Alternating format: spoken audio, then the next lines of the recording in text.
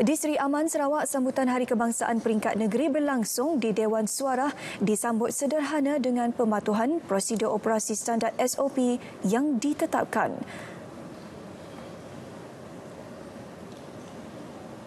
Yang di-Pertuan Negeri Tun Abdul Taib Mahmud serta isteri Tuan Puan Ragat Kurdi Taib, Ketua Menteri Datuk Patinggi Abang Johari Tun Openg, Menteri-Menteri Kabinet Negeri, pegawai-pegawai kerajaan selain Ketua Masyarakat dan Ketua-Ketua Kaum hadir memeriahkan sambutan.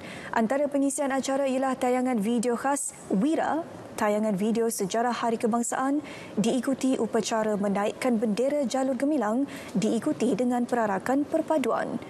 Sementara itu, hujan renyai tidak mematahkan semangat para peserta yang menyertai perarakan perpaduan atau Unity Walk.